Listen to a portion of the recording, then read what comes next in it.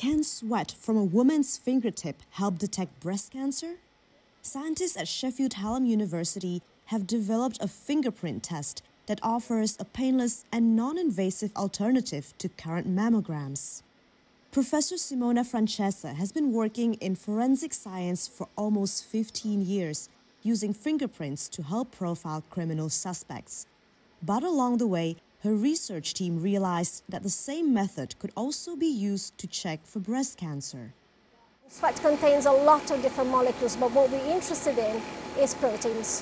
What we do, in effect, is um, detecting those proteins and the different levels of expression of those proteins, the different patterns of expression tell us whether a patient is um, has a benign pathology or has early cancer or is metastatic.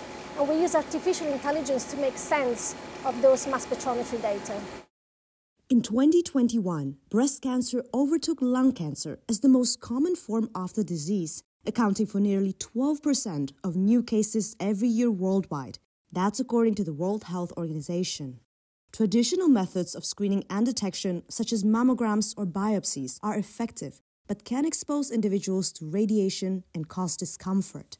Francese believes a non invasive fingerprint test could someday replace the mammogram and encourage more people to have regular screenings. Of course, say, in saying that, this is what we have at the moment, so I absolutely would encourage women to take those tests because they're still saving lives.